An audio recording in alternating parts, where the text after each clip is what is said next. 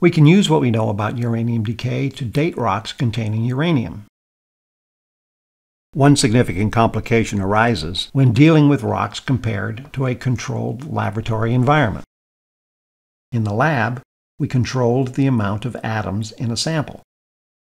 But to accurately measure the number of atoms in a sample pulled from a rock taken from the crust of the Earth can be quite difficult. But there is a straightforward way to determine the number of atoms in a sample like this. All we need to do is add a measured amount of a different element. Take a sample of the mixture and measure the ratio of the sample to the additive. This process is called isotope dilution. I've used carbon to illustrate the concept. In actual measurements, isotopes of uranium or lead not found in nature are used.